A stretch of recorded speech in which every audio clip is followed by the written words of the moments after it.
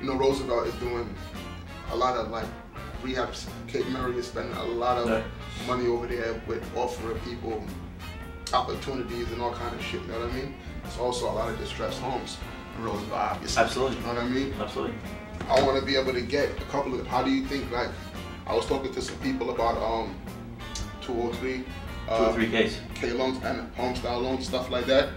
It's, it's like people are saying, "Wow, I can get this house for eighty thousand dollars." Yeah, but you got to put another seventy or eighty That's into it. for those people that have to go through those things. I mean, I know, I know people that you know. Yeah. Obviously, I'm not going to pay what a regular person pays to Right. renovate a oh, no, property.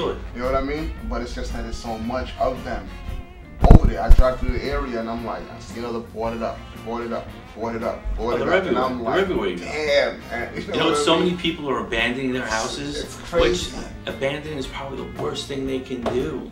You know, if they if they stay in it, but they reach out to someone like you or some or our company, Yeah. you know, they would get the help they need. They they get to walk away from the And property debt make some money. They may And get some money out of it, and money the money's well. from the lender.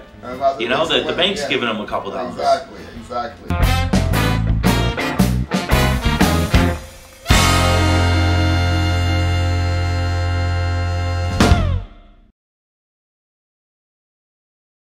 Hey, thanks for watching. Make sure you follow us on Facebook.com slash FlipTheHood, as well as Instagram and Twitter.